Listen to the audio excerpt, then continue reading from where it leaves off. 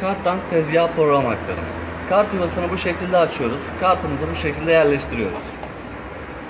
Mod şartelimizi MDI bölümüne alıyoruz. Anahtarımızı Edit konumuna çekiyoruz. Klavyeden Offset tuşunu kullanarak ekranın altından Setting bölümüne giriyoruz. Setting bölümünde IO Channel yazan bölümü kart kullanacaksak 4 yapmamız gerekir. Bunu 4 yaparken de klavyedeki tuşlardan ok kursörünü kullanarak sarı alanı Channel'a getiriyoruz. Klavyeden 4 input yaparak bu bölümü 4 yapıyoruz.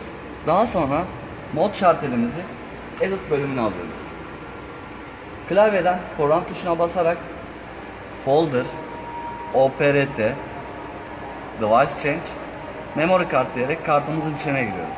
Kartımızın içerisindeki programı tezgaha alabilmek için F input tuşunu kullanıyoruz.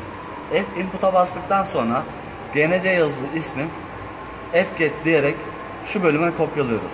Daha sonrasında fset bölümüne basarak buradaki ismi buraya alıyoruz. Tezgahımızdaki boş program numarasını ise başına O koyarak klavyeden kullan, kullanarak O 3 diyoruz. P set tuşuna basıyoruz. 3 numaralı programı buraya aldık. Exit tuşuna bastığımızda programımızı tezgaha almış oluyoruz. Kontrol ederken de device change CNC man dediğimizde 3 numaralı program burada mevcut.